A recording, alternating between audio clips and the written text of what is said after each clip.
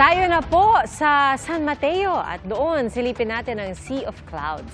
Tampok po yan sa pasyalang perfect para sa mga naghahanap ng long weekend getaway na malapit lang sa Metro Manila. Saksi, si Jamie Santos. Hindi na kailangan magpakalayo para mag-relax ngayong long weekend. Maraming pasyalang one-hour drive lang mula sa Metro Manila. Sa San Mateo, Rizal, hindi lang tiyan ang mabubusog sa pagkain.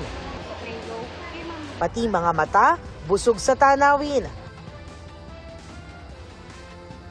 Sa mga gusto ng time off sa ingay, sa gulo ng syudad at dami ng problema, may isang lugar dito sa San Mateo Rizal kung saan magkakaroon ka ng peace of mind at madidistress dahil sa ganda ng tanawin.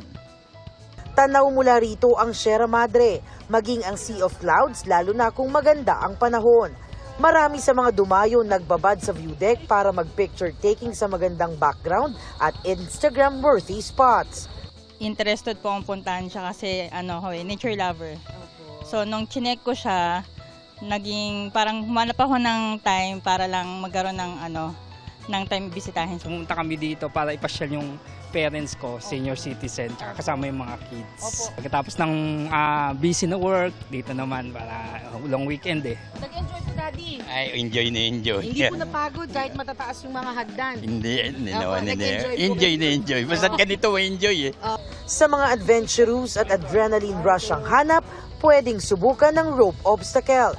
May playground din para sa kids. Mae-enjoy ang slide at dark area.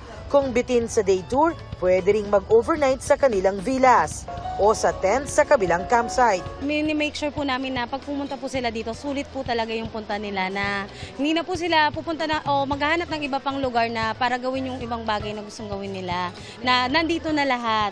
Para sa GMA Integrated News, Jamie Santos ang inyong saksi. Mga kapuso, sama-sama tayong maging saksi.